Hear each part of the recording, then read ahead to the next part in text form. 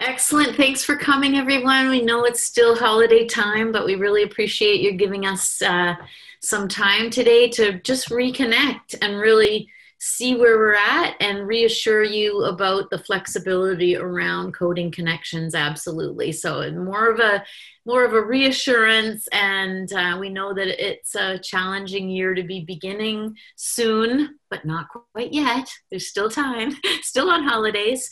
Um, so that's why we wanted to get everyone together. So peter is going to share some slides i think and then we'll get yeah. going. Feel feel free to grab the mic or turn your camera on. Um, it's really quite informal. We did we did prepare some slides just to keep us on track. Great, that looks good. All right. Um, so we can um, actually, I'm going to open up the chat here. I will be able to see it, yeah, and you can help me out if uh, if folks are sharing. So we can go on to the next one. Thank you. And it's the norm now, yeah, Andrew. We were laughing about how we are all more expert at video conferencing than we probably ever wanted to be at this point, but it's a good thing that's the silver lining. So welcome everybody. Um, I don't know about you, but I, um, I when I, whenever summer is sort of coming to the end, when I was starting back to school, I was always thinking about what my happy place was going to be and hanging on to that. So we hope you've had some rest and relaxation or having that right now.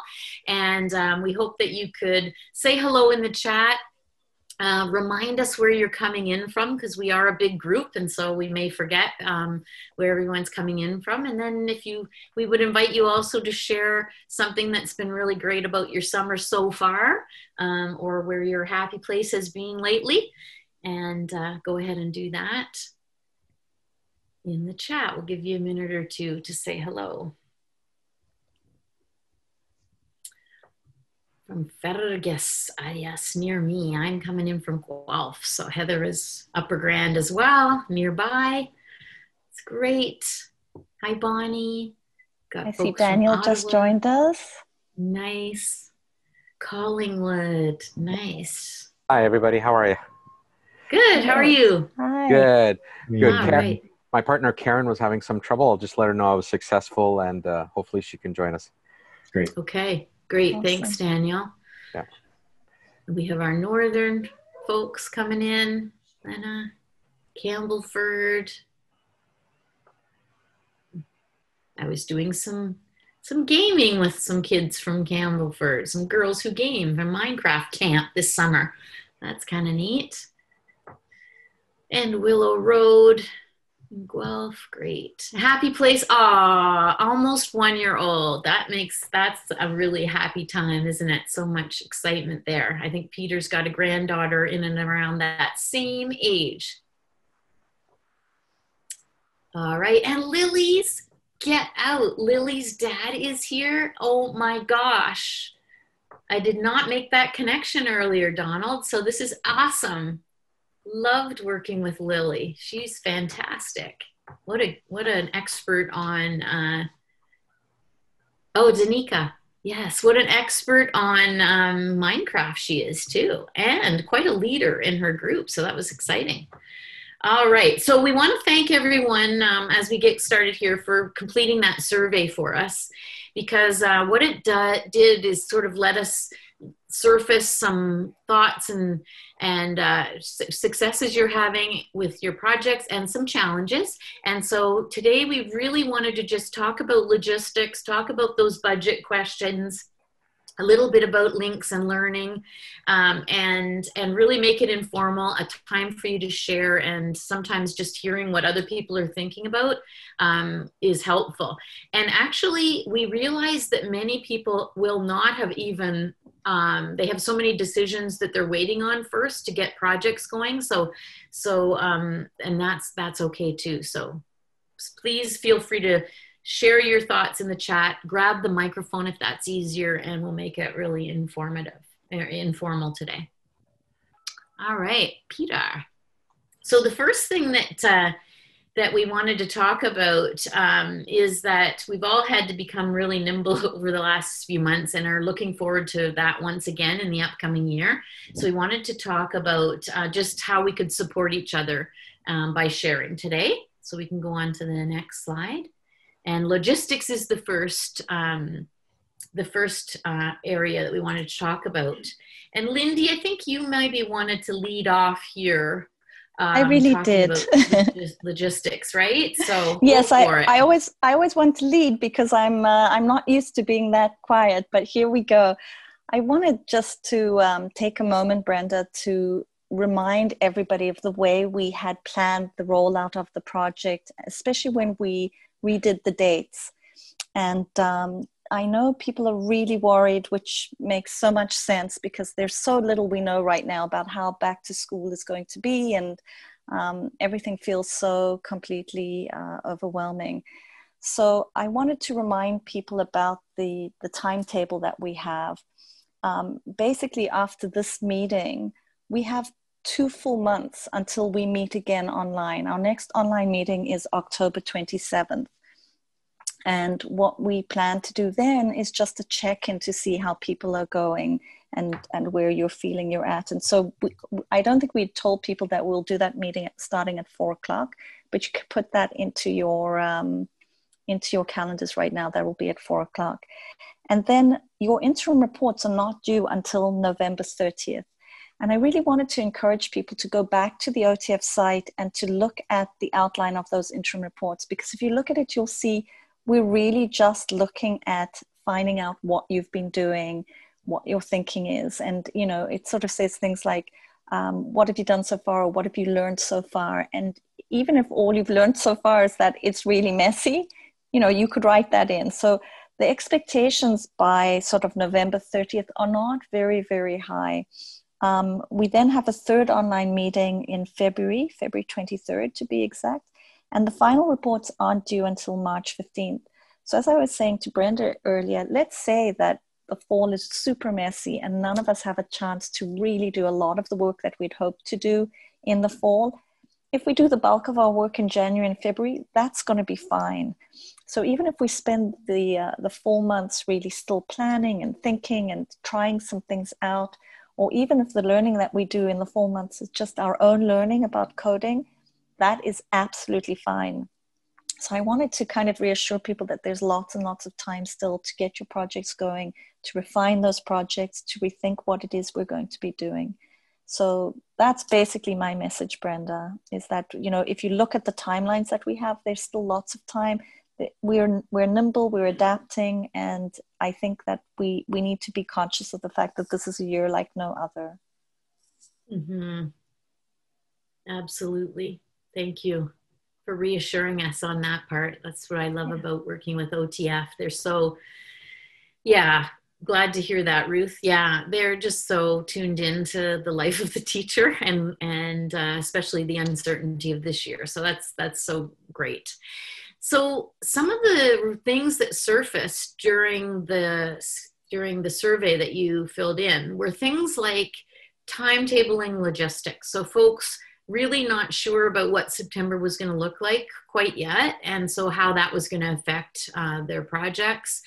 Um, some of you mentioned that your initial project plan involved working with other students from other classes or for younger students buddying up and mentoring, um, having mentors or tech buddies in older grades.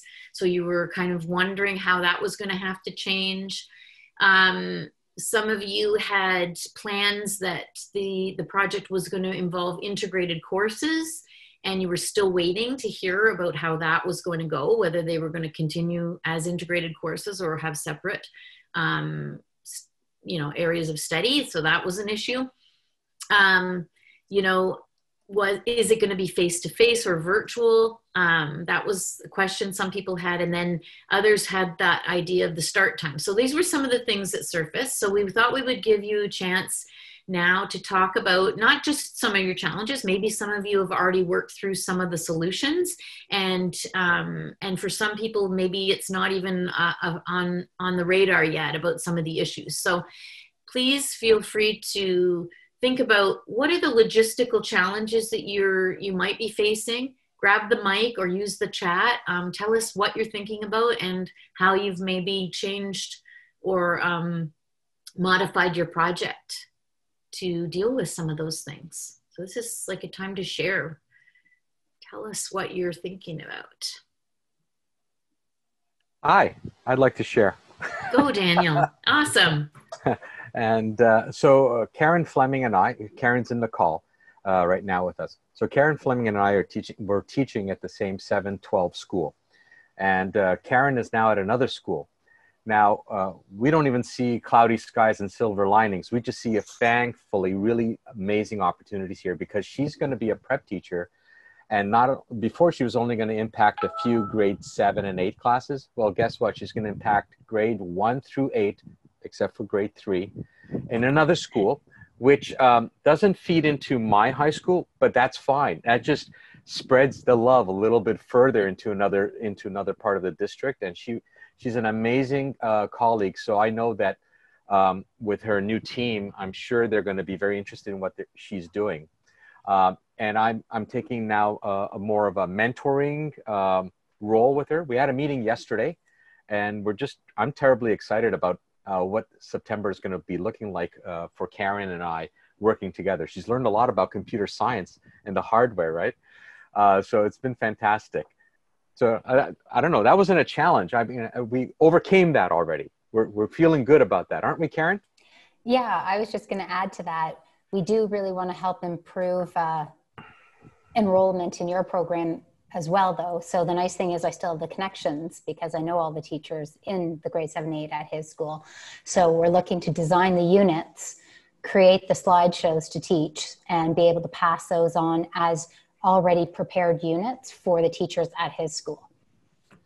Yeah the two two themes came out two goals that we had was we want to take the students who are going to leave her grade um, every grade that she's teaching, let's say the grade eights, they wouldn't see a computer science or studies course or engineering course until grade 10. So they'd skip a year once they entered into high school. So we wanted to leave them with such a great impression that they would be chomping at the bit looking for that grade 10, you know, uh, ICS2O or TEJ2O course. And, and like Karen just said, I'll repeat, uh, she's still strongly connected to the 7-8s in my school and we, the second thing we want to do is build these resources we can put in any intermediate uh, teacher's hands so they can bring that coding into their classroom. How does that sound to y'all? Mm-hmm. Sounds good. You already know your assignments. You know you can still keep together and collaborate. Sounds good. Exciting. Yep. Um, now, um, Harinder raises an issue there that's interesting, and I wonder how it, it fits with you folks because um, protocols for the use of technology in schools, I guess, is one of the one of the things that'll be on people's minds. Do you have any insights on how that's working in your board? Not quite yet in detail. Uh, however, in our planning meeting yesterday, Karen and I, um, we, uh, I, am sure you appreciate this. We stepped away from the actual coding of lin, uh, Lynx and we started looking at pseudocode. And then from pseudocode, we went to unplugged activities uh, and you know just understanding the four functions of a computer like input storage process output and what are some activities we can do about um, thinking through problems decomposition a big word for little kids but just breaking it down into different parts and so problem solving. So we uh, spent quite a bit of time yesterday um, thinking through how um, unplugged activities would fit into it and then um, looking because yeah we're going to have limited access to technology i think and Karen is thinking maybe less than half a dozen devices, and then there's, I don't know. Karen, you speak to that. It's going to be your classroom.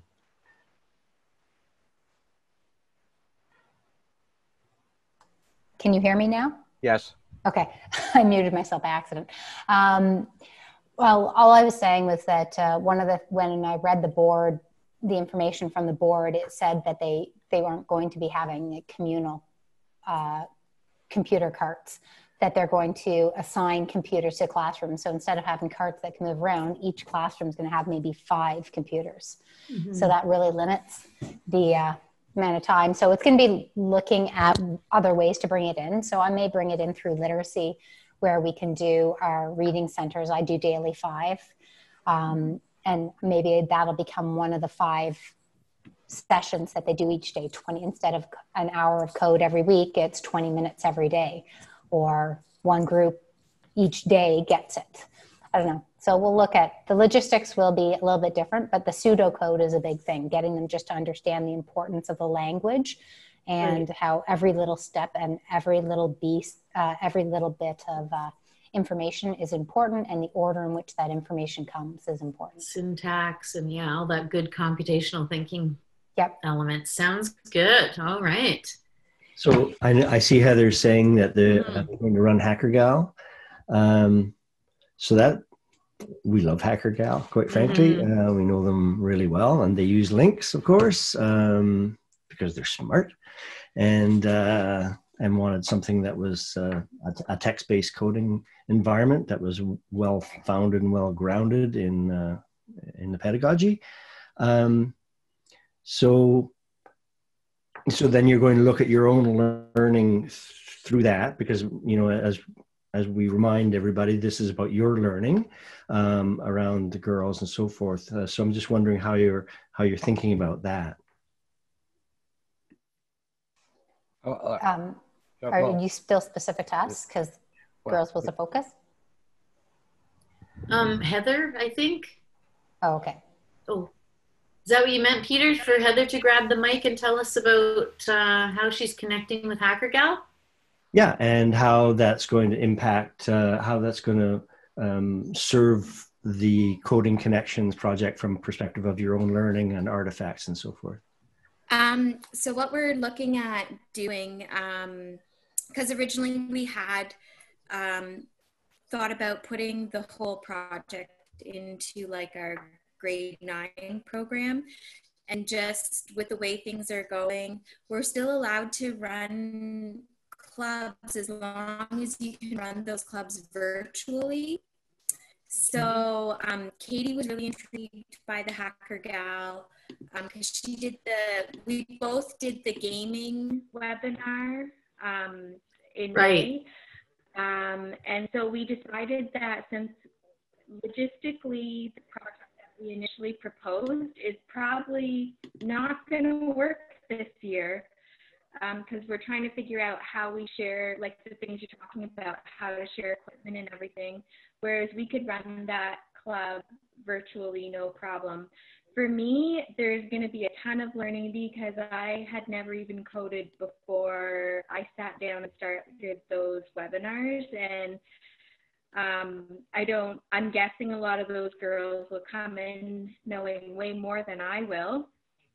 Because I look at my own children, you know, in elementary school, my son's using Scratch and Scratch Junior and Tinker, and he's, you know, light years ahead of me. And uh, I have no idea, you know, like really what the possibilities are with this. And so, um, there's going to be immense learning for me. And then from there, we do want to embed it into our science courses. The great thing about working with Katie, and I know she can't be here, but Katie's our design tech teacher. So she's in, she's actually split between three departments. She's in tech science and math. And so she just branches out all over the place. Um, and then having, working with her for this, it brings in our computer science teacher, um, and he's been helping us. And so we're hoping he really wants girls in his program. He can't get girls in those senior computer science courses that were already mentioned. And so we're just hoping that this is bridging a gap and it's sort of getting more people in the building involved in it and it's there's a there's a ton of learning definitely for me that's taking you know that with it that sounds like a great that to, answers your question yeah it's actually mm-hmm. um, it actually is a great way to solve the logistics problem and i sort of jumped ahead in the agenda because you know to the to the learning piece because yes that's what i sort of do um, and um, yeah, that's going to be fantastic. I'm really happy you're working with HackerGal. Um, you'll hear their new uh, their new stuff very shortly. We've been working with them because we uh, we work with HackerGal uh, regularly to talk about ideas and thoughts and so forth. So you'll hear about you'll hear from them in the next week or two anyway, and uh, that's great. And I'm just I'm just going to chime in and say I'm I don't want to get ahead of the agenda, but I do want to say don't forget to be um, logging somehow, tracking somehow the learning that you're doing because that's fascinating. I loved your description there of um, how much you're learning and that for us is very valuable. We'll talk about that a little more in the next uh, in the next agenda item. But I just wanted to um, jump at that because it made me very excited to hear you saying that. And I just want to jump in too, um, if possible. Not only do we have a science link, but uh, coding is now officially in the math program. It's in the algebra mm-hmm. strand. It's it's really? a full it's full strand. It's in the algebra component of the new math curriculum. Grade one so, through grade eight. Yeah, it's amazing. It starts in grade one. Mm-hmm. Just in case people don't aren't aware of that yet and haven't really looked at the uh, math curriculum, it is officially in the math curriculum now. Karen put Absolutely. together all the expectations related to coding from grade one through grade eight in a in a table, and then we started going through it and we started coming up with examples of uh, problems that we would solve with coding and what would the pseudocode look like. It was a bit of an education for for Karen, and it was it was a re-education for me because I was learning how to teach again. You know, it, it was uh, I, it was very hands-on, and I was training another adult and thinking about the kids as well fantastic uh, experience. Nice. So there'll be all that learning that might relate to the new curriculum, the revised curriculum. That's that's something to keep track of as well for your for your to talk about your own learning. Yeah, and it, it, yeah. it's nice. It's nice because it's consistent wording throughout, and from grade one to grade eight each year, it adds one. Like grade one, it's sequential. Then two, it was, it's sequential and concurrent. Grade three is sequential, concurrent, and repeating, grade four, sequential concurrent, repeating and nesting. And it just so each year it's one more skill that gets added mm-hmm. onto it. I think I, speak I think your channel I think your challenge will be not doing all the once you get into Lynx, you'll be doing up to grade eight with grade twos. Absolutely. but, but, why not? like, why not? I think it why not? yeah, right? Because the one thing is they have to look at the idea that they're they're giving us this curriculum but the grade eights have, have ne- some of the grade eights have never had it before. So they have That's what true. they want you to get and you can always learn more. So always yes and in more complex ways. So the more years we get into it story next uh, in in a little while. Brenda's going to invite me to mm-hmm. tell that story. Yeah so we have some other, so thank you. Yes, we're going to talk a little bit about how you might connect and to the, the social emotional learning piece around that new curriculum or revised curriculum too, because there's a lot of opportunities we see coding. And we've never needed coding in the curriculum, but we're glad it's there now.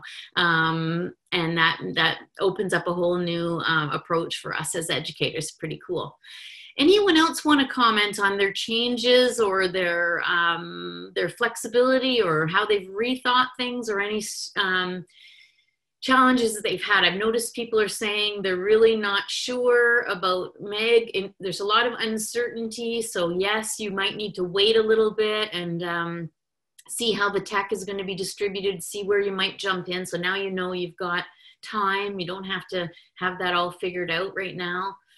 Um, Bonnie's had a tr- teacher transfer. Sebastian's got his project running from Kenya, connect collaboration from Kenya, which is pretty exciting. So I just wanted to give some other people a chance to grab the mic.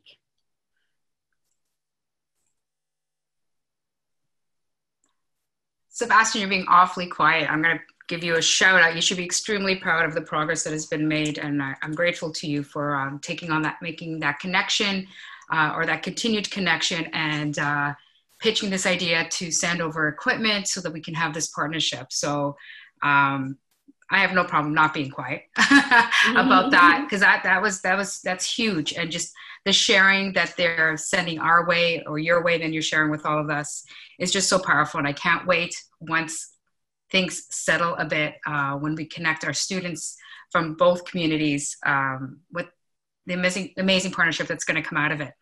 But yeah, our, we ourselves are in a jam. We have no devices. They've all been removed from our classrooms in our school community. Actually, 220 schools within the TDSB had their devices removed. And uh, there is no plan to bring those back for the first half of the school year. They are looking at to see how they might address uh, in the greater need community areas uh, financially some devices. So I'm going into a class where I had 33 devices to zero.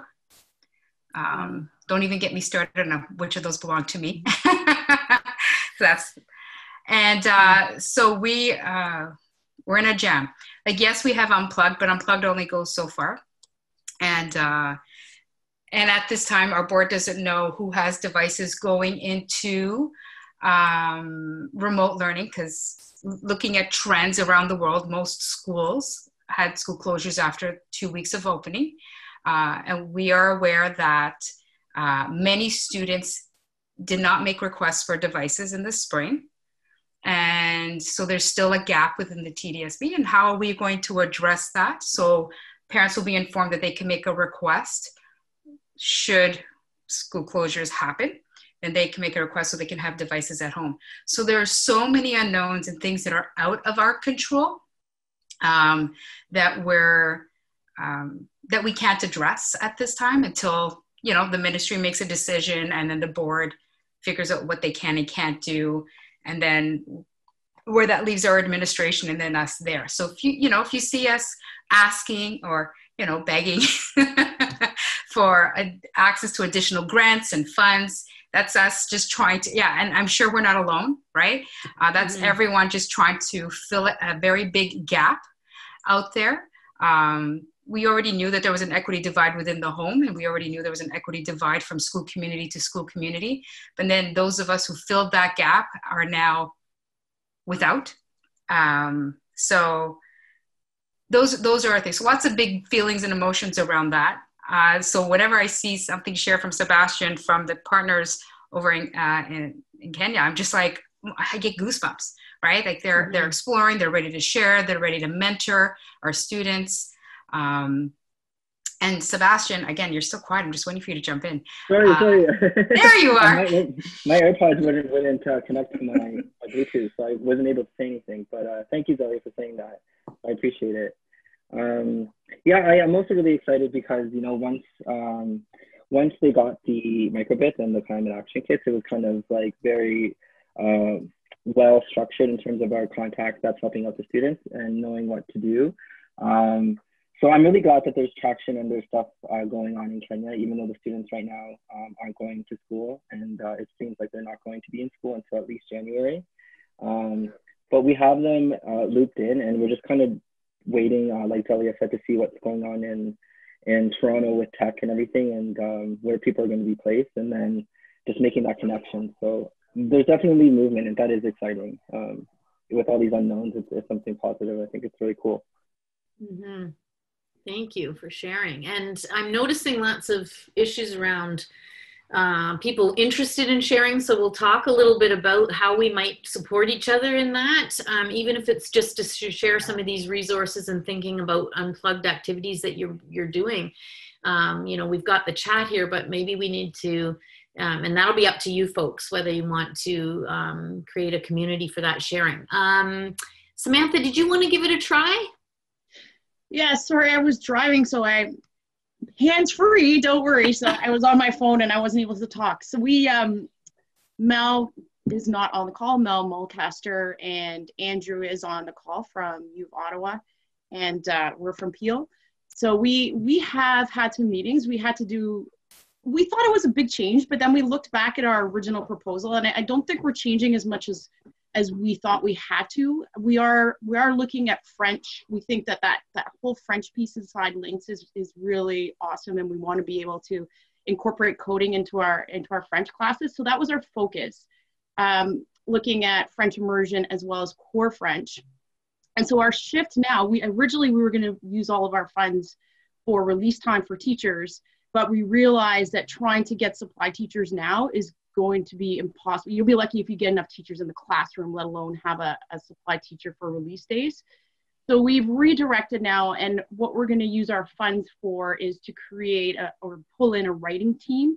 And that writing team, Andrew and Mel and I will, will all be part of that, and we'll be working together to create some resources that focus on, and this maybe is a little bit ambitious, but we're focusing on the French side of Lynx also pulling in, same as the other person, I'm sorry, I didn't catch the name, the idea of coding because um, I've been involved with some of the coding coding writing that we're doing for elementary and Peel. So this lends itself perfectly to bring in for French immersion, bring in that French or sorry, the math coding piece into the French curriculum. And then Andrew now has a really great idea. So we had the core French, the French immersion, and he's now looking at a French school in Ottawa. So we'll sort of cross those those three realms.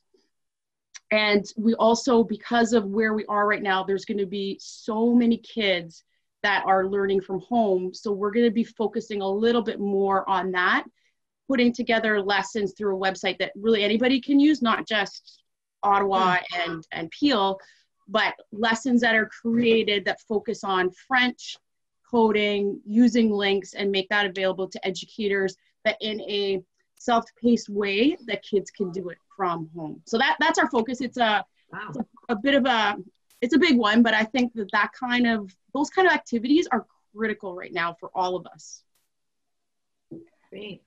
Samantha, I, I wanted to just jump in again and say all of this um, process of changing your and shifting your plans, try and capture that as well when you do your interim report because I think that that is so awesome. That whole process that you just described of how you were at first were going to use the money for release time, and because of the situation, you realized you could not, and how you know what your thinking was and how you came to this new planning.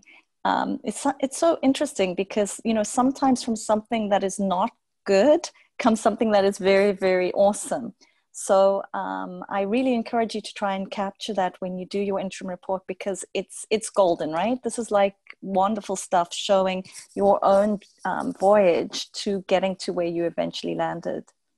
Yeah, I mean, mm-hmm. when we did our project, we we weren't in home learning, and we the math curriculum hadn't come out, so it's been a really interesting journey as we've gone, and we haven't really it started, we're still planning, but it's been an interesting journey. And I agree with you. There's so much good that can come out of the experience that we've just gone through and where we're going.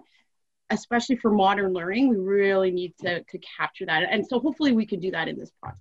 And can I just add to that? Like some of the groups may not yet be where you are. Like some of the groups may not have landed yet. And I, I don't want people to start to panic and say, wow, these other teams have already figured this all out you know it is a process and you will get there. So i think that's very important. Like it's messy in the beginning isn't it? Like as you did this in the beginning there must have been moments you're like holy what on earth are we going to do? But you do eventually that you have to trust in the process i think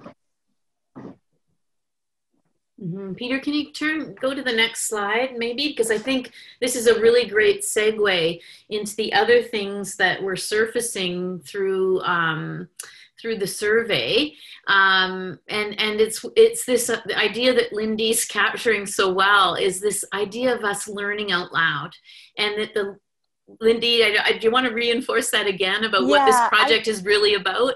I really want to do that because. Yeah. Um, if you stop and think about um, Code to Learn, they have many sub projects that they're working on, but the one that they decided to do with OTF is really inspired by the notion of teacher learning. And in fact, when we looked at the many applications that we got for the, the little pockets of funding that we're um, handing over to you folks, we were really interested in those where they focused on what teachers themselves, what you, your team members are going to be learning. And this is what we want to keep reminding you about. While, of course, we're interested in, you know, where you end up and what you end up doing with the students, we are primarily interested in your own learning, and you are the focus of this project. And I think sometimes as teachers, we, we skip over that or we forget that. But we really, really want to capture what you learned, even more than what your students learned. We're interested in what you learned through this process.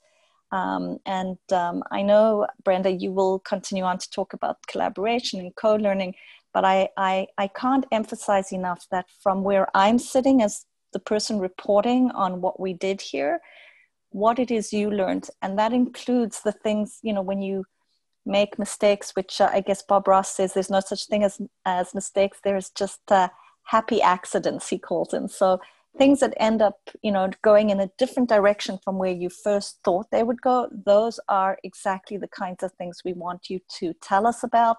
We want you to track them as they happen and then to explain to us what you decided to do as a result.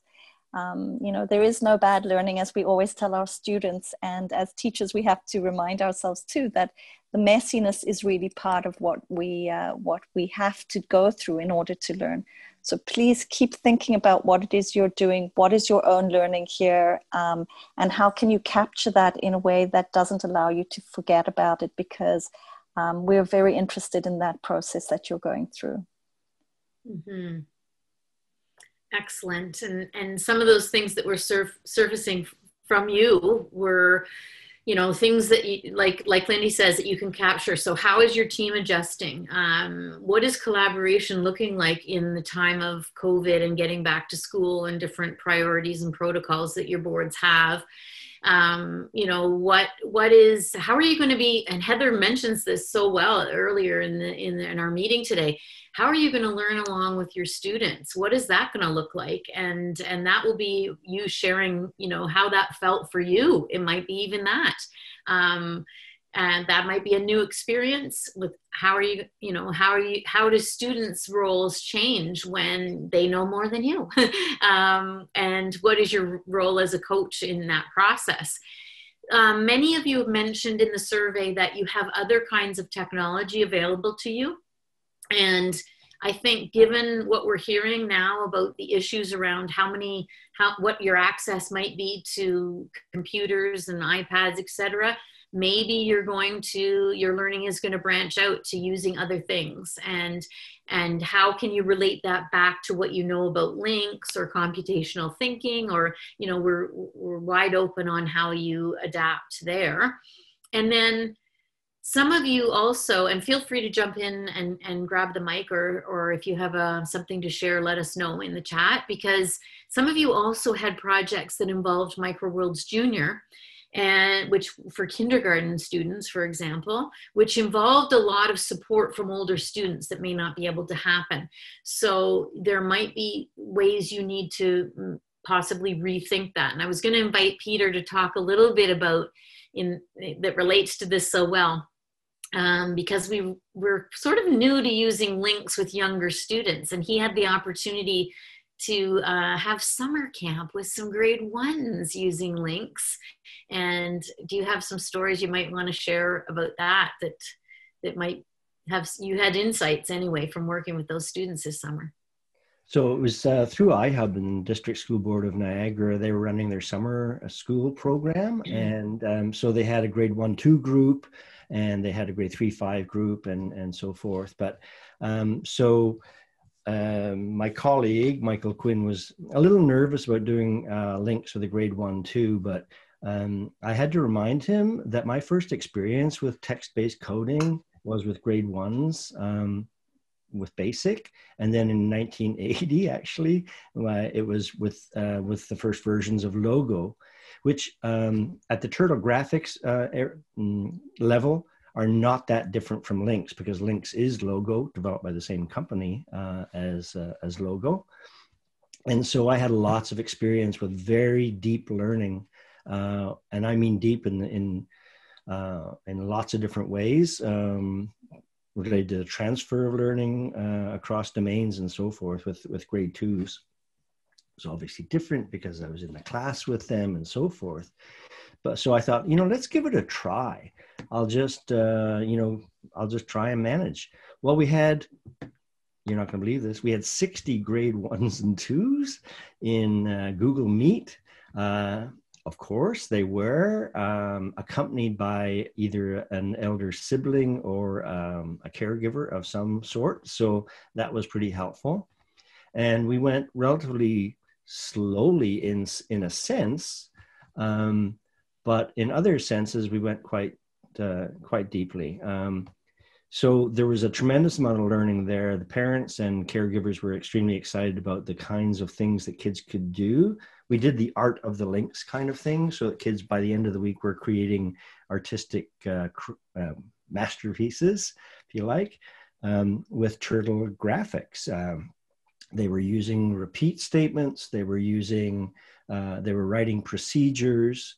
They were using random numbers. Uh, i don't think that's in the curriculum grade one too. No i don't think so. Um, but the reality is, and then I did a meta chat. So what I would do a little demo and then let them go and do a little demo and let them go. And while I was letting them go and they were working on their own there, I do a little meta talk with the uh, with the adults in the room because I wanted them to sort of recognize the math that was happening that the kids were actually doing.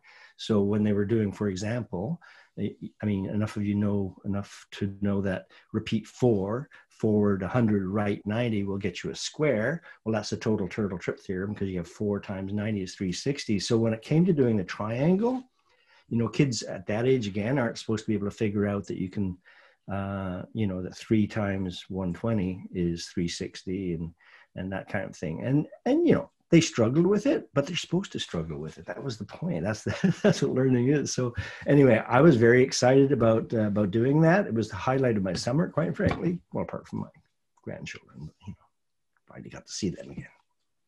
Mm-hmm. So, point being, there are ways to manage Lynx at a at a grade one, two level. Kindergarten would be hard pressed, but uh, the hardest thing they had was finding the keys in the keyboard.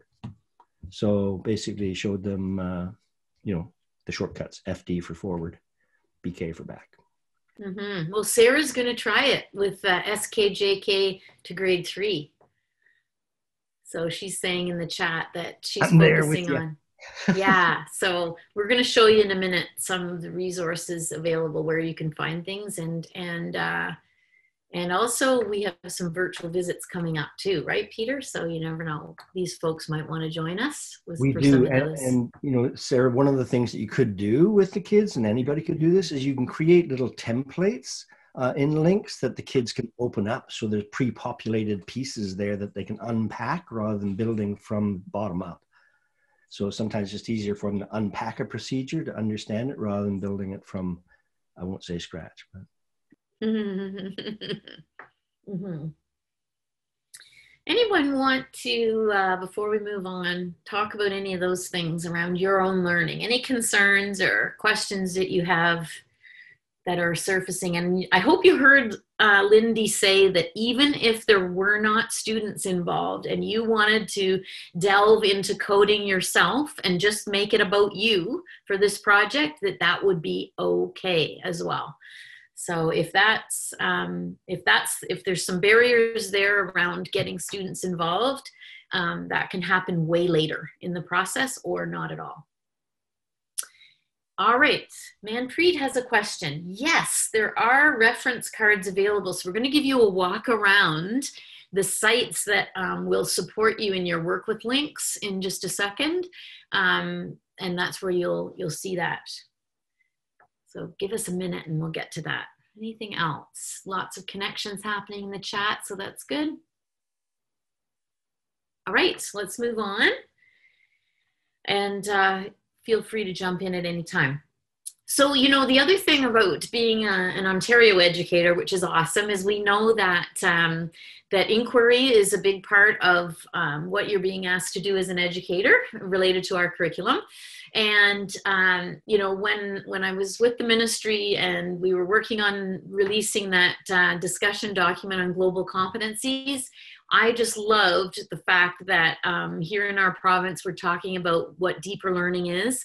And um, as Peter mentioned before, it can mean transfer. So you learn something so well that you can transfer that learning to another domain, either close close by and similar to something you're learning, you've been learning, or farther away. And I know that when we hear, um, we often hear about these transferable skills to the workplace, but but really where that that all started was through that document and talking about deeper learning being the intersection of cognitive, what you know, and really your intra and interpersonal skills. And so, one thing that Peter and I are always so excited about is that coding is one of those things um, that kids often want to do um, in in collaboration with other kids, and that excitement that they have, and the cheering that goes on when they solve problems, and um, the, the way that they can take the, the learning on themselves it makes it a deeper learning experience. Just like being on a team sport is really deep for some people or being part of a theater production is is really impactful for others. It's that interconnection of those three things. So feel free to be pulling from other pieces around what you know you know well-being and equity and deeper learning all those things that are uh, front of mind here in ontario. And then some of you have already mentioned our next slide is about the new revised math curriculum. Um, and the fact that if you look at, and many of you will not have had a chance to dive into this, you're on holidays, and so you should be. So it's going to be there waiting for you. Don't worry about it if you haven't had a chance to see it. But from grades one to eight, we now have coding in the curriculum in the algebra strand. Um, but one of the things that we love to see is the intersection of social emotional learning and bringing to the forefront those fantastic mathematical processes. And so when you see all these things, reflecting, connecting, problem solving, um, working through challenging math problems, testing different approaches to problems, you know, that's debugging, right, in coding. So there's just so many ways that coding will help you, um, will help you um, bring to action this some of this revised curriculum you know self-regulation good point sarah. Um, it fits into coding really well too. How, turtle trips yeah. Yeah turtle trips can be journeys. I love how you said that to about thinking about cause and effect. Someone also mentioned um, the literacy connection you know. Syntax is important um, in in literacy as well and understanding that um, logic and how we say things really matters and it matters in coding as well. So so there's lots of ways for you to even just be jumping into the thinking piece into dispositions um, you know into collaboration whatever whatever way you would like to dive into this is is up to you and we, we would love to see your thinking and that'll be part of making this an amazing project overall is the different ways that people engage in coding all right. So Peter, you um, next your next step, I think, to give us a walkthrough and a reminder of um, what's available in terms of Lynx resources. I'll turn it over to you. Sounds good. So, um, so just a reminder that um, you know this uh, this is a federally funded project, um, and they fund this Canadian development of Lynx, which is why it's somewhat central to what we're doing here. Uh, and sort of a request of you, uh, and was a request when you sort of signed up as well, so you, you knew what you were getting into. But we know things have changed, um, and so, but but um, but like Brenda and Lindy have said, it can be about your own learning. Um, you know, even if kids aren't involved, and if kids are involved, great, and we can use Lynx that way. Um, but if you're using microbits or other kinds of things as well, one of the things you might want to think about is uh, those transferable skills from one uh, coding platform to another. Is there transfer that you notice? How do you leverage the transfer? How do you uh, how do you scaffold that uh, kind of transfer and so forth? Um, so Lynx, uh, sorry, can, code to learn. We, we, call it can code to learn now because code to learn is sort of a generic term that's been out there a little bit too much. So we call this can code to learn. Um, um, so OTF Connects is uh, OTF Connections is one of uh, one of the projects um, that uh, that we funded, um, but we also fund the IK Math, the Indigenous Ways of Knowing Mathematics, uh, through and a couple of folks in the audience here are are involved with that. Um, and so that that's awesome. And um, then there's um, what else we've got? My gosh, my brain. Um, we've got a large scale coding for good. Uh, yeah, we've got coding for good. We ran uh, for where we had um, kids code an uh, interactive thank you card for uh, essential workers, frontline workers. There's a couple of large scale districts uh, implementations um, and so forth. And we're actually uh, launching a new initiative as next week at the ECOO Camp, uh, which we'll tell you about shortly as well. We're launching the beauty of mathematics, uh, interestingly enough, and um, we'll have virtual visits and so forth. So I'm going to actually um, take you to these sites now because this is this is the go-to place. Uh, so you're asking about cards and that kind of thing, all sorts of learning in these places. So I'm going to bail out of this. Whoops, a daisy, and go to cancodetolearn.ca. I just need to uh, new share cancodetolearn.ca. You should be seeing that now, right? Yep. Not That's quite yet, but hang on a second. And I think it's coming. coming. In. Yeah, and I'll watch the chat. If there's any questions that come in, I'll um, okay. let you know. How does that sound? It's so not coming yet. You're no, kidding. no, still see the uh, GIF or GIF or however you want to say it. Oh, there might, we go. Yeah, but you might have seen it anyway um, because it's on the, it's on the top slide anyway. Oh, right on. That's the same. There we go. okay, so cancodelearn.ca can be your go-to place if you like, um, because it links uh, to the other two places um, that were on the previous slide. Um, our French version is not up to speed yet, so forgive us for that. Pardon because we have um, we've been revising things and there'll actually be a somewhat of a major revision between now and next week but point being that you can go in here, you can click on this, and it will describe to you what Lynx is and then different ways to learn Lynx. So there's a getting started guide uh, that's a PDF. Um, so that has, you know, if you like learning things sort of decontextualized, uh, just you know what things are, you can you can do that. Um, so uh, I'm just going to um, I don't know what'll happen here. You probably not see it. Yes, we do. Oh, you do getting started with Lynx? Yes. Perfect. Okay, so you know it's the kind of thing that you would expect for uh, a manual, if you like. You know, so it tells you how to add the turtle, how to add clip art, how to make uh, uh, clickable turtles, color detection, collision detection, uh, the project tree, and that kind of thing. And then it just walks you through that. Okay, so there's that. Um, are you back to my slide now? We are, yes. Looks good. Thank you. Um, and then when I go back here, um, so that's the getting started guide. And then we have other topic guides that are in booklet style.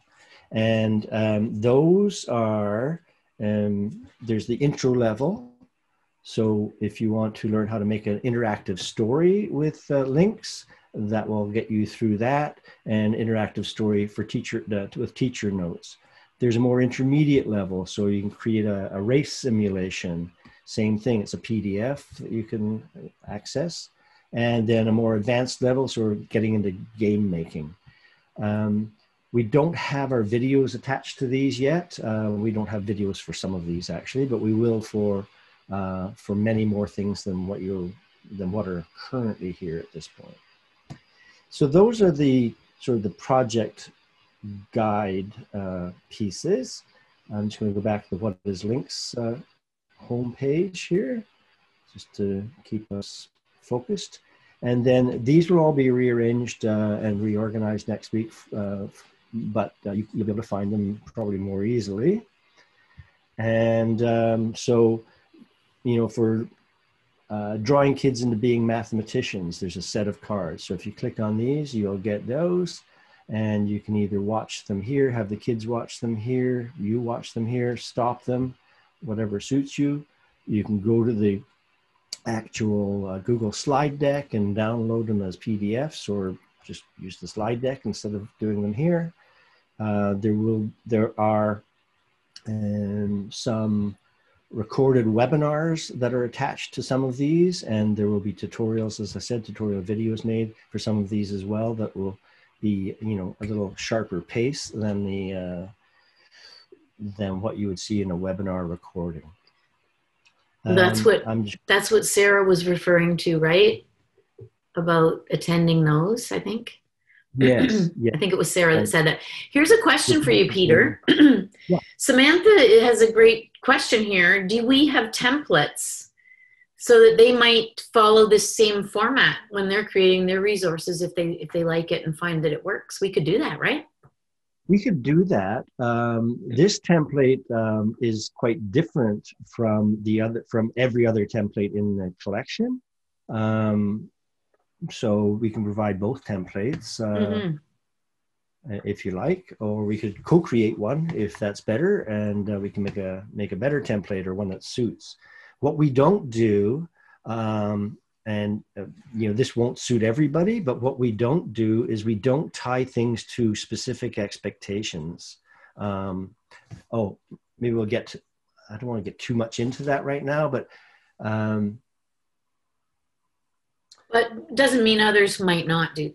Other No. people can do that if they oh like. yeah, please, Yeah, do it by all because they're means. saying that teachers are very they're going to be wanting that kind of thing so that t- They by all means they can do that yeah and it's really quite easy well relatively easy to do the overall expectation for math coding with these somewhat easy to do the overall expectations and a little easier to do specific expectations for math with these but Brenda and I are working hard on uh, creating other um, other curricular connections from social studies and from the arts uh, and from science as well because it really we like to see more project based approach. And uh, you'll see that when, uh, next week or if you come to the ECOO camp or come back to this site you'll see more of that because of the beauty of mathematics that we're doing. So um, so there's ge- uh, geometry one. Uh, there's an interactive greeting card one. Um, so this just steps you through how to create an interactive uh, greeting card. Create the background, create the text boxes, manage the text boxes, add your message, create pages, navigate your pages, um, put in animation and sound, procedures, all that kind of stuff. How to create secret codes is another one. Can I just jump in there, Peter? When you mentioned uh, greeting cards, Yeah. it, it triggered a memory of that I had with uh, Karen yesterday. She was talking about having a greeting card per season and how that would uh, create a continual learning, you know, a, a- a- Yeah. experience, right? If you think of all the holidays when kids would be, if they were giving greeting cards to Yeah. somebody, they can. So you've got them throughout the seasons, right? That's Right. right. Right, so Yeah. it's documentation over time Mhm. Yes, it is. Yeah. So we've modified Nice. this on occasion uh, to suit uh, Mother's Day, Father's Day, um, you know, earth day seasons, birthdays, and so forth. Yeah. hmm So how to create secret codes is kind of a kind of a neat one. Uh, basically, it uh, you know it's exactly what you would think. It uh, use code to um, to convert text to secret code and back again, and and has le- simple levels and hard levels. We have a coin toss probability. I'm not going to go through all of these, uh, but that's sort of a, you know in your probability statistics kind of class. Create a birthday match, uh, also related to um, same kind of thing related to um, the random numbers and uh, randomization of of selection to get a birthday match. You know, gifts and so forth. Uh, create a calculator app is another one that's here. Uh, create a working ecosystem, and that's a little more advanced. Um, uh, create a gravity simulation written by Ray Mercer, mostly by Ray Mercer. It's pretty cool. Um, and uh, this one's not quite finished yet, but I threw it in here anyway. This is the this is kind of my favorite because I love the nature. I love the spirals uh, and that, that kind of thing. Um, yeah, so so that's that's the stuff that's there at this point for you. Um, if you were to go off to um, to lynxcoding.org, which is the other site.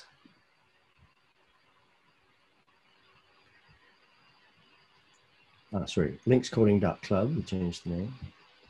It will take you off to, I'll just go to lynxcoding.club. Are you seeing that? yes Perfect. So this is the official Lynx site where you do your coding. Uh, you'll notice that we have it in uh, French, uh, Ojibwe, and Mi'kmaq at this point, and we're currently working on a Mohawk version and perhaps a Southern Chichewa version. That's in works as well, so that's kind of nice. Um, but the you scroll to the bottom, this will give you sort of uh, beginner projects that you can unpack. They're not tutorials, but you can look at them and unpack them uh, to see how it works. Uh, there will be a Terry Fox project run this fall as well. Just uh, keep your eyes open for that. But but you can go in here and uh, all these anything in gray is um, is a comment. So it's like a yeah notation, if you like and uh, then you can you know, see the programming and unpack these with uh, with kids or with your team.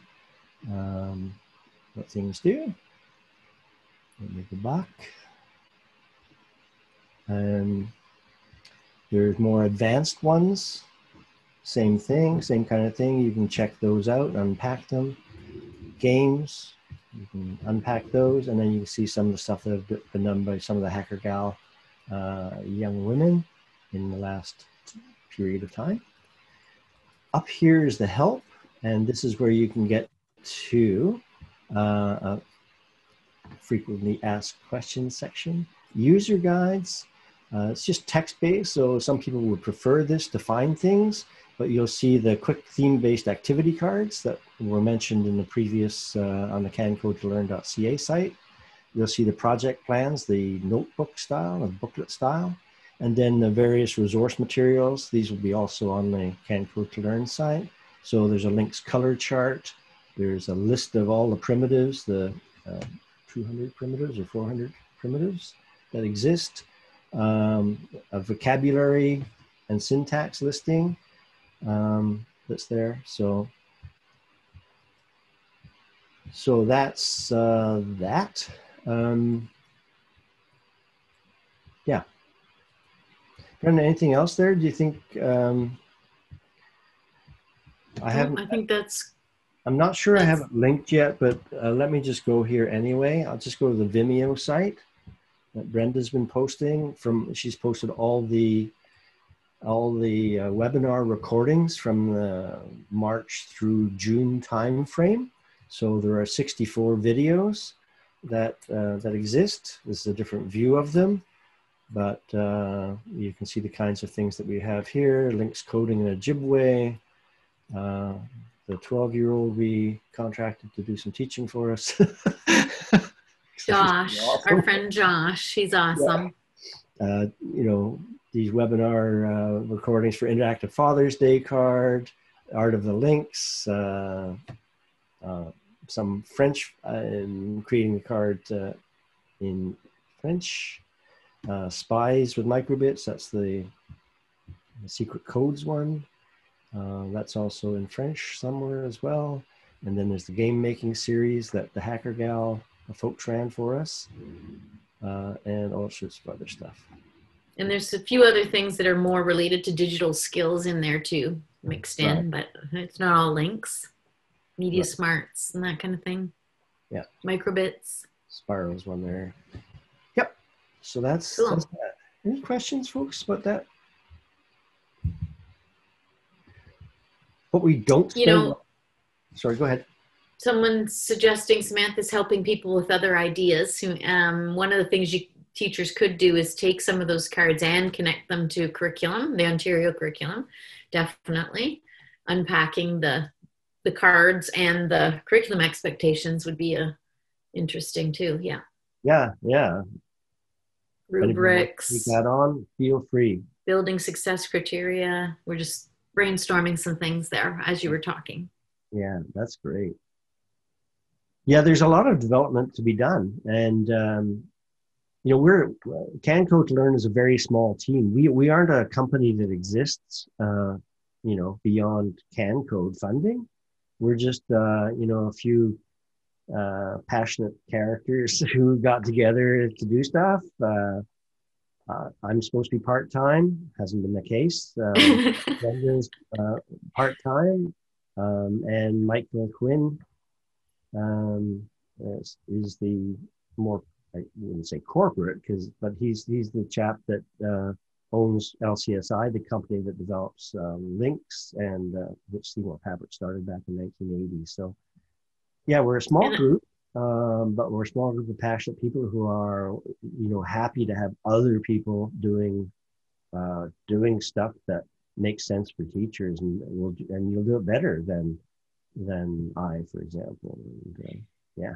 And you had mentioned ECOO Camp, and Sarah said she's planning to attend. Um, one of the sessions will be about um, the Terry Fox project. So, um, if you are looking for alternative or interesting ways to connect to the Terry Fox run at your school, or however that's going to work this year, um, there Lisa and Michael are going to talk about how they're going to use LYNX coding combined with microbits to track uh, student data around how many how how your kids are traveling like terry or whatever way you wanted to honor his his legacy in that way. So that, that that's an interesting project for for fall too.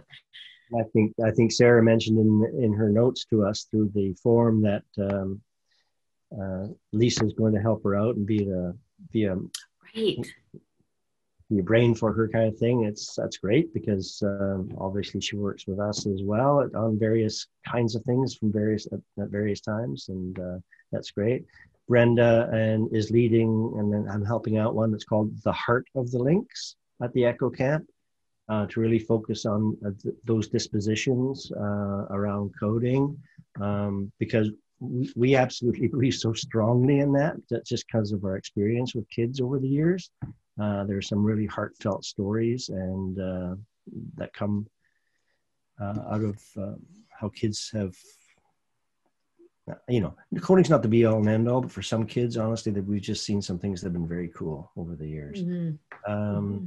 and then we're running the art of the Lynx, which will focus more on the, the math uh, kinds of things but through an art lens and through a culturally responsive pedagogy lens because we'll be focusing on uh, indigenous art and uh, art of the cultures, um, whatever cultures you happen to have in your schools. Yeah, great.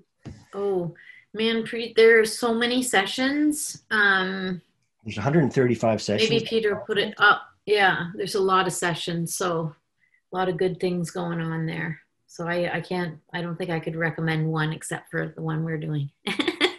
no yeah there's lots of other things in regards to coding okay so there's a whole there's a whole stem strand there's a whole social emotional learning strand there is um, fall pivot i think they called it about how people are changing things up for fall uh, equity and inclusion is one strand and i think there's a fifth one that i'm not remembering right now but um, we could we'll put that link in the chat if you'd like to look I mean, certainly. Uh, there, it is. It, I think there's a charge.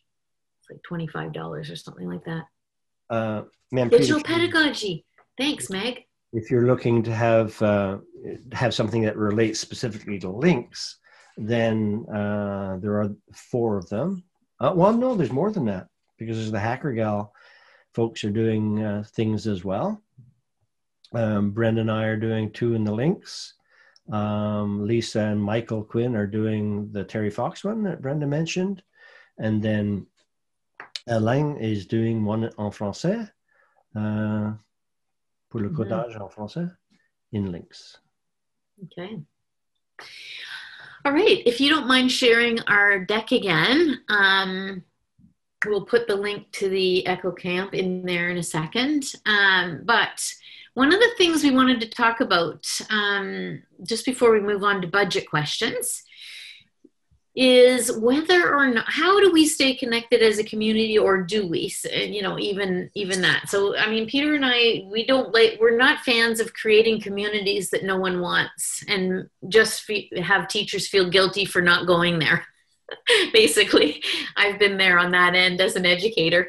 Um, so already in the in the um, in the chat you you've mentioned some things around resources that you're sharing. You've shared twitter uh, accounts there. Um, some people are planning a virtual conference at the end of this for us to share our resources which i think is an amazing idea. I'm in for that. I would help with that.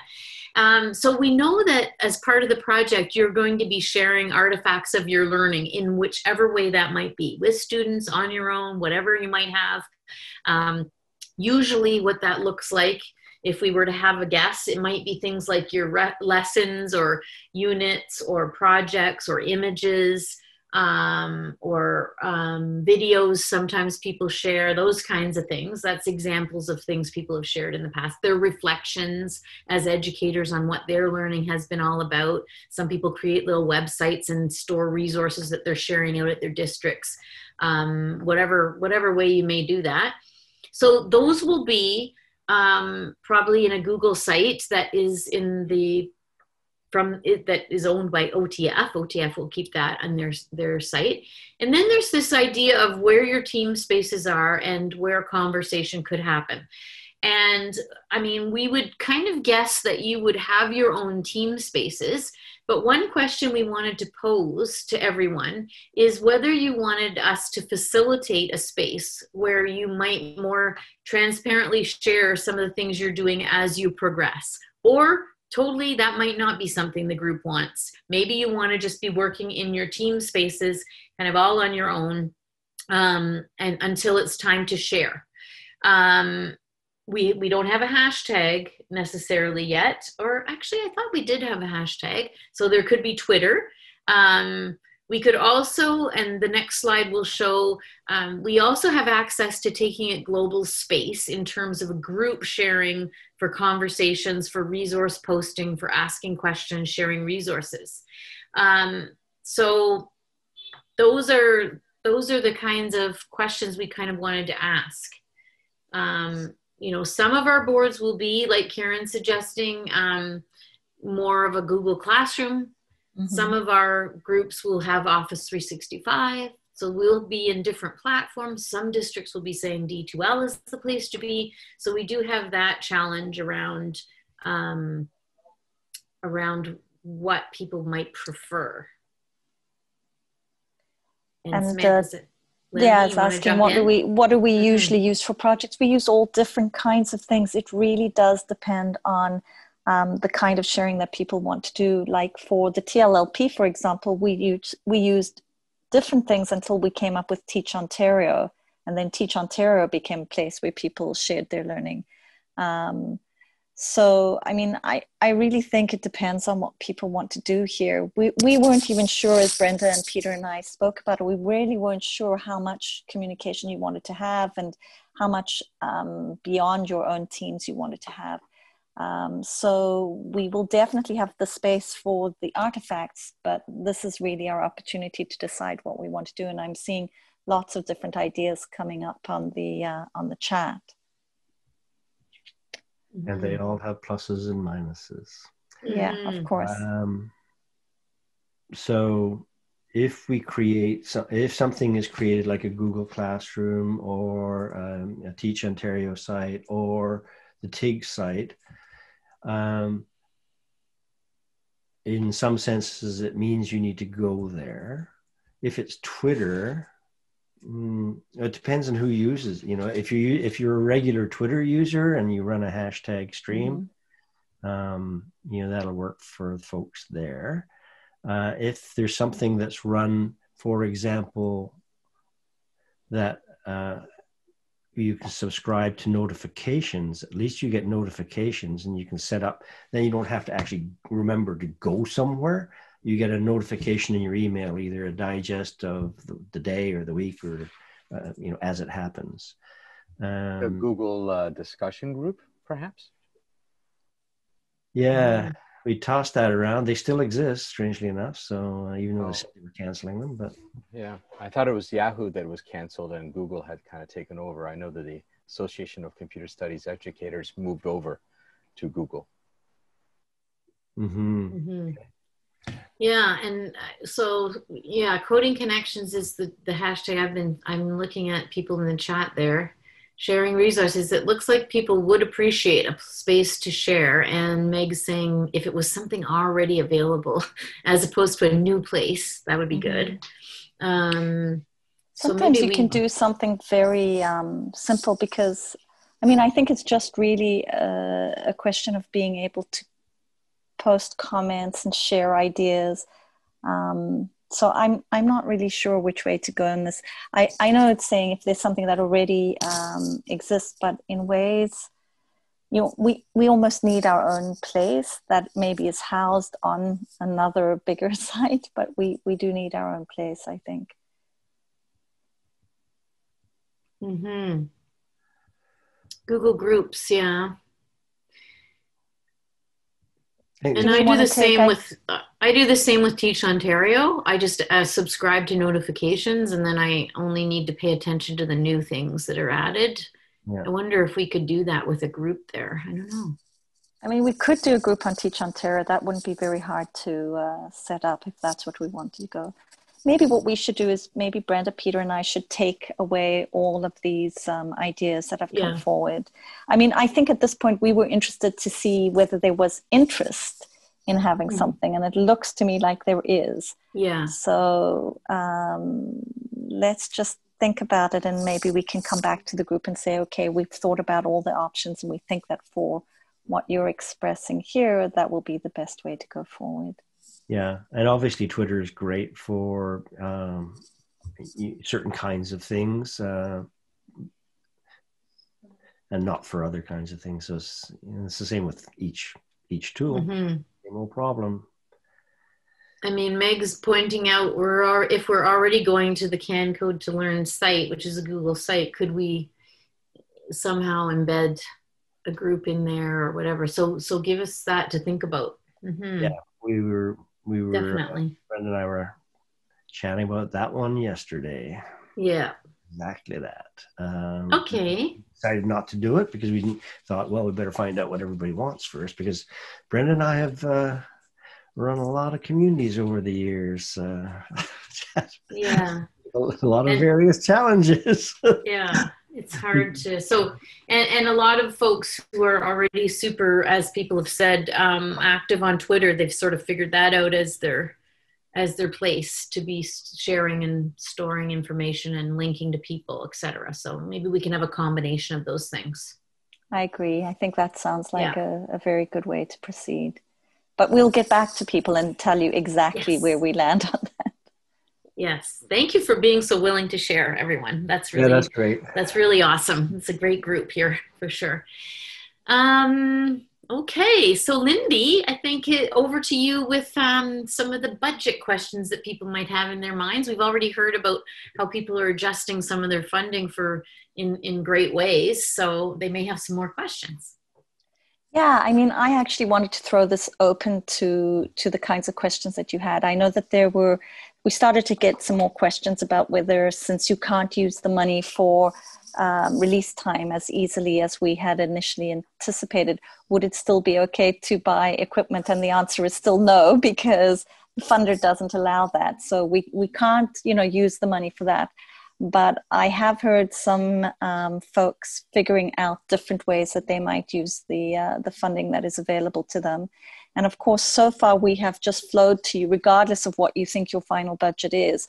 We have flowed to you um, 60% of what the highest amount you could have gotten was. And so the plan is when we get your interim report in November, we would flow the next amount to you.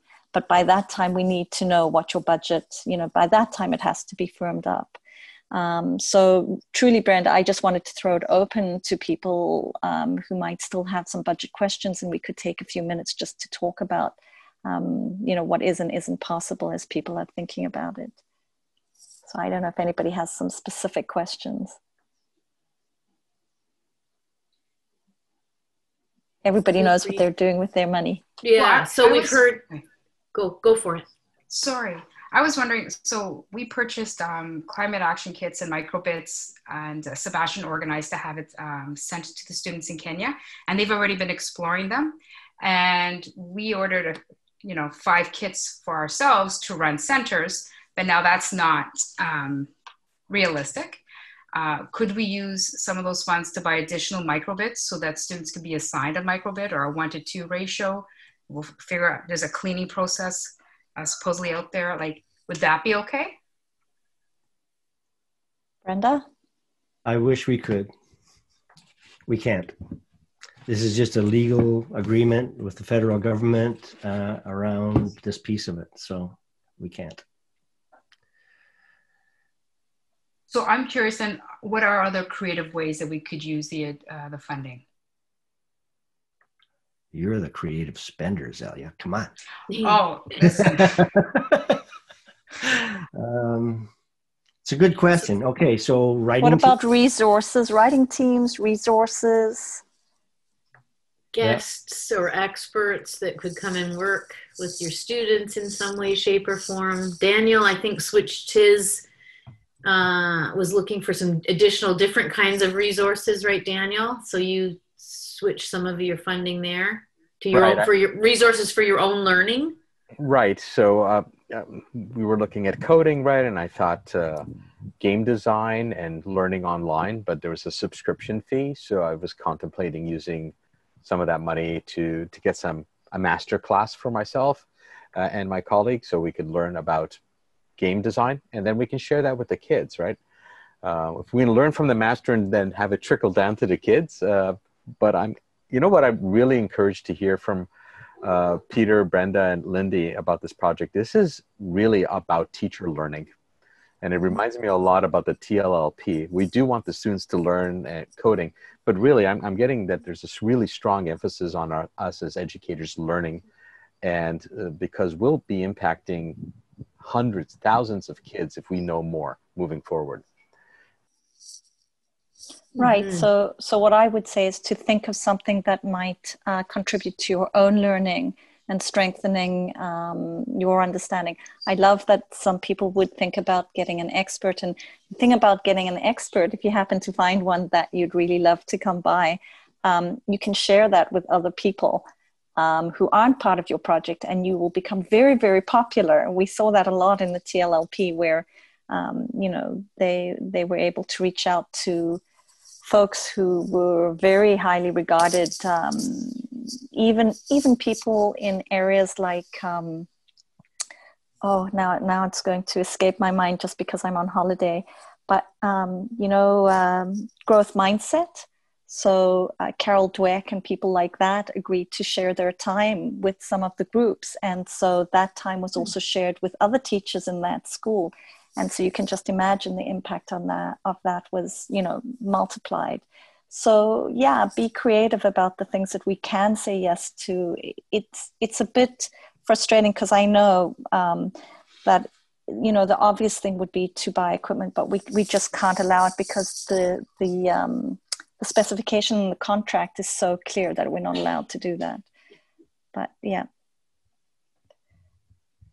Hopefully, those of you who are going to ECOO Camp will save your re- receipt and you can right. submit it as part of your learning here for your um, project. Yes, virtual, virtual conferences, conferences. Yes. Yes, absolutely. Um, somebody even asked about a uh, membership in one of the subject associations.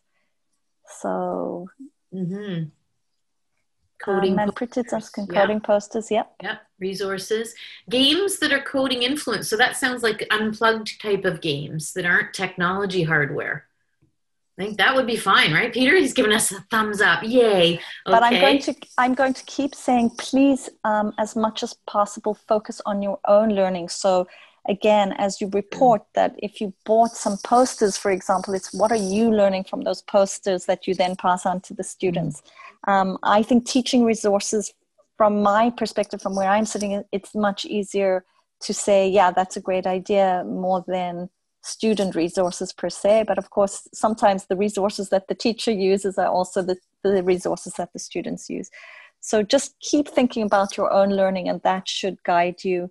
And maybe again, this could be one of those areas that um, you know you're going to discover some incredible things that you could do with the money that you might not have otherwise done and that might really boost your own learning i'm hoping so mm-hmm. sarah can you grab the mic and tell us your idea there a little bit more about it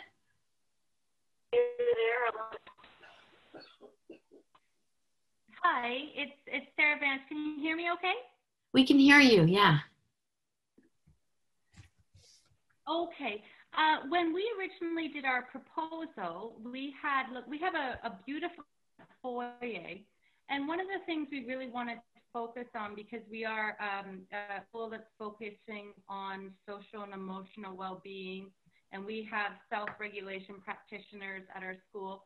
We really wanted to think about um, a, a, kind of alternative environment um, where where kids could could flow into that had something like, like let's say, flexible seating, uh, shelving units with um, a table, for example, some flowers, for example, where uh, as they're moving through the school, they might sit um, and, and work on their Chromebook to, to do some programming. And, and at the same time, maybe there's a teacher there on, on their prep, you know, that's sitting there and having a conversation with them um, or um, small group learning is happening. When we wrote our original proposal, we asked to allocate 15 or uh, $1,500 um, to create um, a micro environment like that, um, where it's not a classroom, it's, it's not specifically staffed by anyone, but it's it's a space where learning occurs flexibly, especially when you have those dysregulated students that sometimes are transient in the school or struggle to to be in the regular classroom at all times. And that's a that's a space where we could flexibly um, uh, use those times when they might be dysregulated to focus on something like programming. Um, and we had, yeah, we initially proposed $1,500 to that. And, um, and a larger sum to release time. And I'm thinking that we may have a more difficult time um, getting supply coverage or doing release projects, especially if some of us are virtual this year.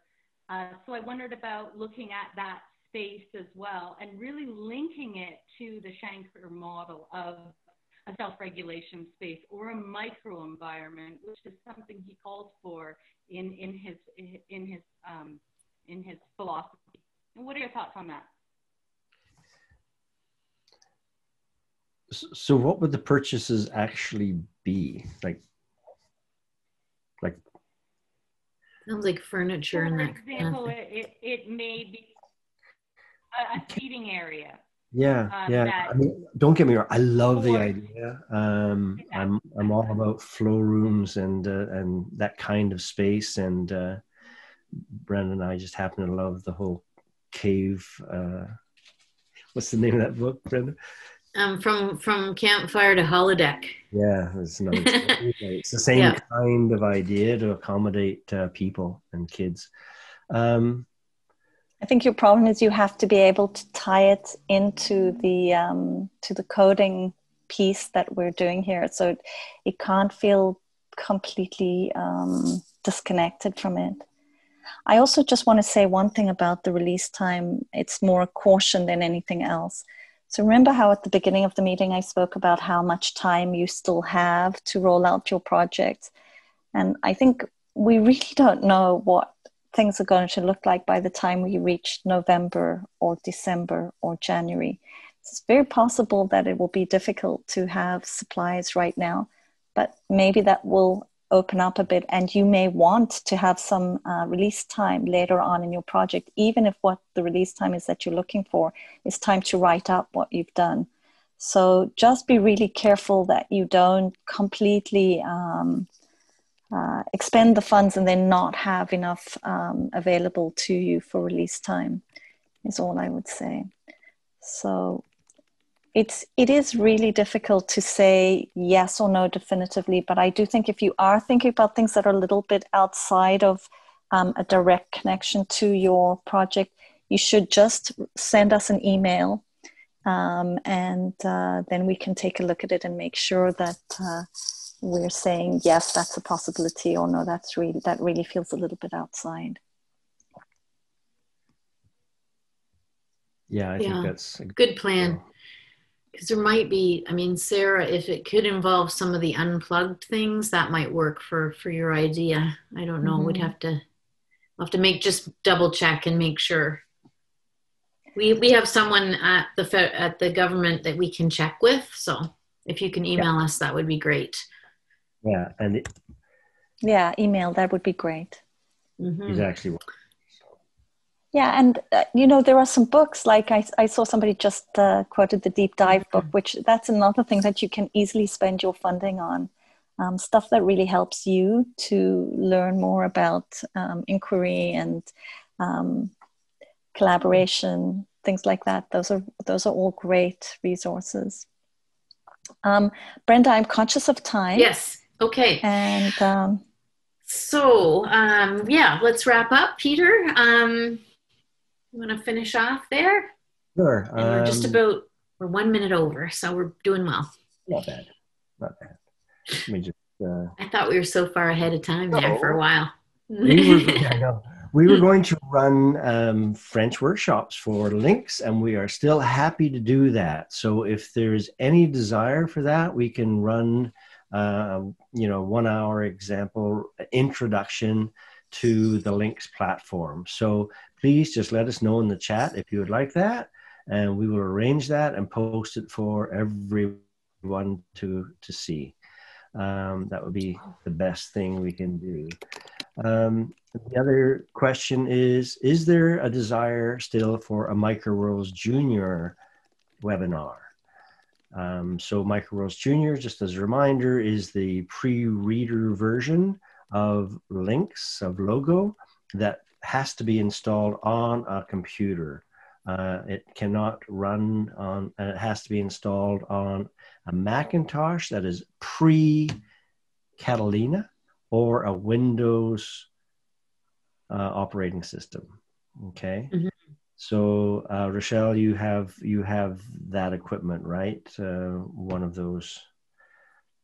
Could you stay for a minute afterwards, and we could set up a time for that, or Let's figure out some. That. Let's do yeah. So why don't we yeah. do that with and uh, for French.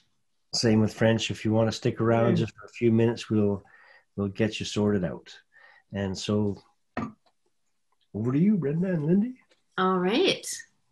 Um, so if there's any other questions, I, I think um, that was sort of what we had had wanted to kind of share and get people um, talking about. I hope I hope that you've got some good ideas from others uh, on on our in our community here. I certainly have. So um, I love hearing how people are managing things and excited about the year. So that's such good news for all of us to hear. Um, Lindy, do you have any uh, finishing words that you want to? Yeah. And, and by I, all means, anyone can email us if something occurs to you after this meeting. For sure, just reach out two very quick things. I, I do want to remind everybody that we're very flexible. So if you haven't landed completely on your projects, we still have lots of time for that kind of flexible thinking. And part of capturing that flexible thinking would be really important to us.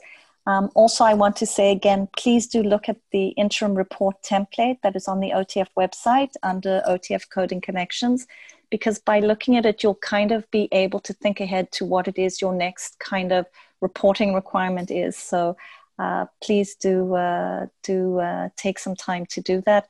I will be creating over the coming weeks the final report template and your reflection sheet. Um, so those will be available to you too. So all the time as you're working through your projects, please be thinking about tracking um, your learning and what it is you've been doing um, as you go on your journey. For us, that's very, very important. As important, the process is as important, if not more important, um, than the product. So Absolutely. that's it from me. Thanks to everybody. All right. So if you're interested in uh, Microworlds Junior or French, if you could stick around for a couple minutes. Otherwise, thank you so much for taking some of your holiday time to be with us. And we'll follow up with an email soon. Thanks. Take care, everyone. Bye best of luck for the beginning of school. Thanks, everybody. See y'all Bye. later. Thank you. Bye. Take care.